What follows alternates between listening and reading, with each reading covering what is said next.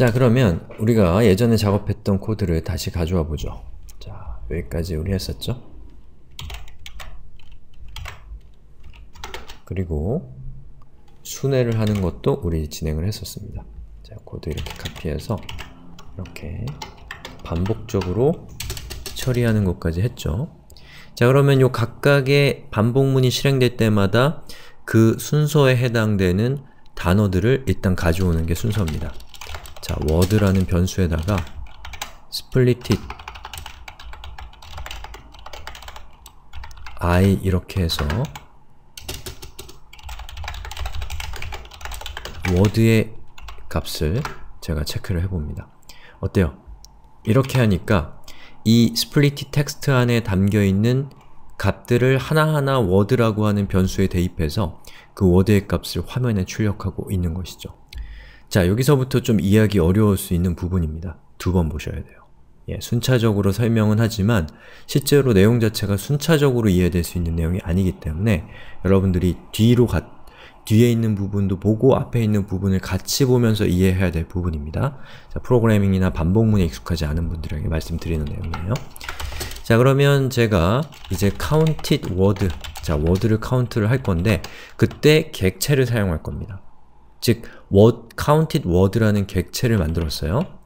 그리고 제가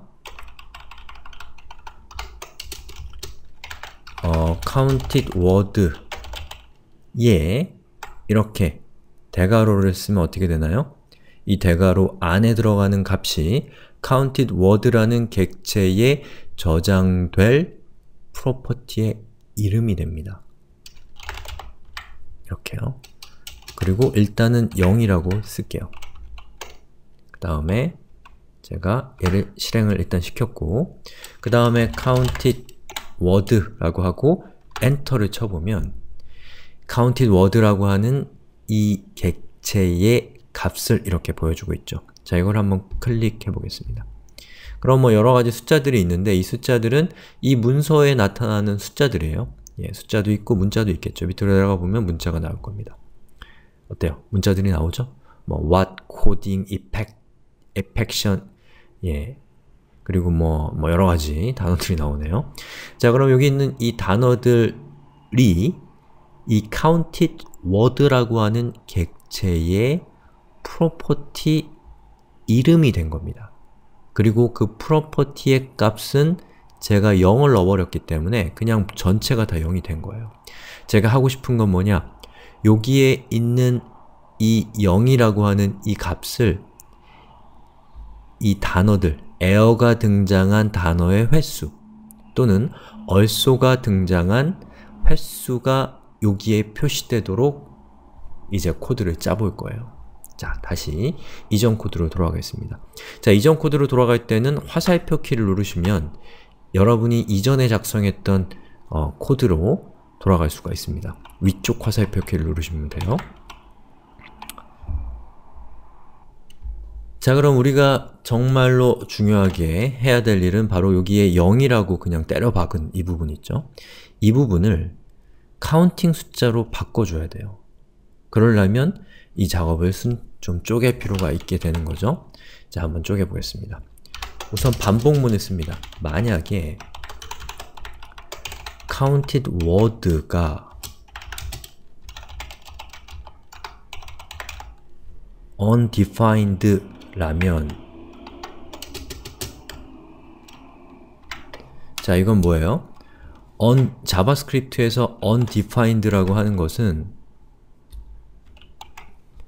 undefined라고 하는 것은 값이 정해지지 않았다, 정의되지 않았다 라는 뜻입니다.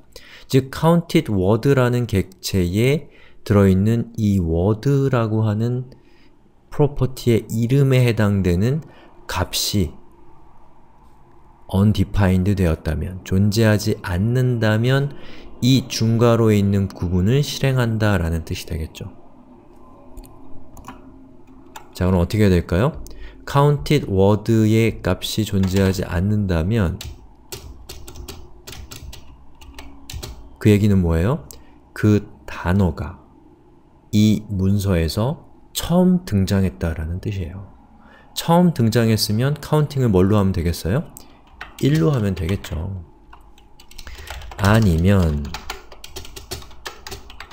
else 그럼 어떻게 하면 될까요?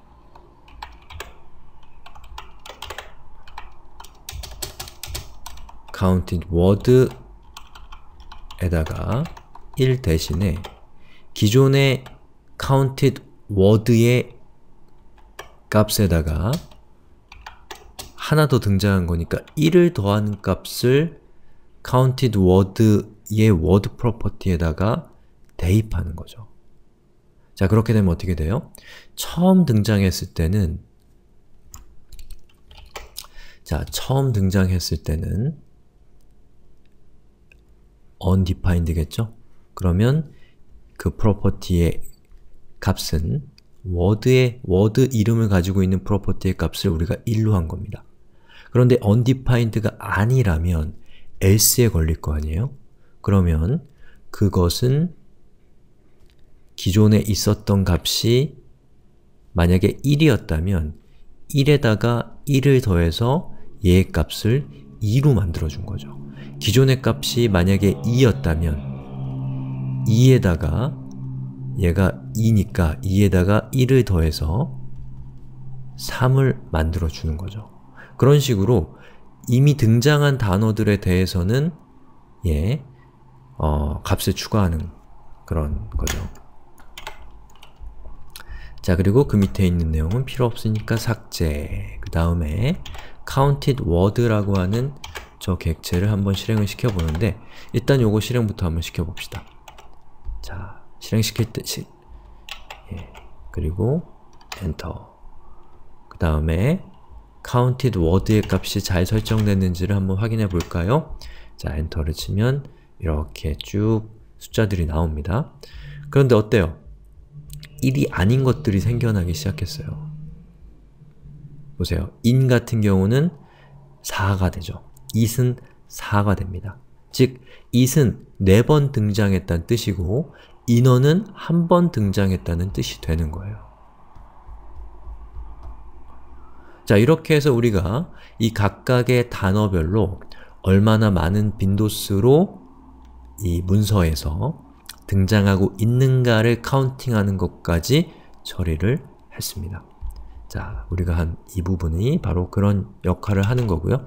여기 여러 가지 개선해야 될 것들이 있어요. 뭐 소문자, A와 대문자 A를 같은 걸로 한다거나 이런 것들은 뭐 그렇게 중요한 건 아니에요. 나중에 처리하면 되는 거고 우리 수업에서 꼭 다룰 필요도 없는 내용이기 때문에 그런 것들 일부러 빼고 있습니다. 자, 등장 횟수를 계산한다는 부분이 바로 이 부분이 되는 것이죠.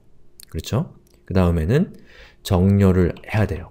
여기 있는 word count이라는 것이 보시는 것처럼 이렇게 무질서하게 나와 있는데 그럼 여러분들이 요 이렇게 많은 정보들을 다 검, 뒤져가지고 뭐가 너무 랭킹 짱인지를 확인하기가 쉽지가 않잖아요. 그죠? 그럼 그렇기 때문에 그 다음에 해야 될 거는 정렬을 해서 사람들이 쉽게 이해할 수 있도록 그렇게 어, 데이터를 바꿔줘야 된다는 겁니다.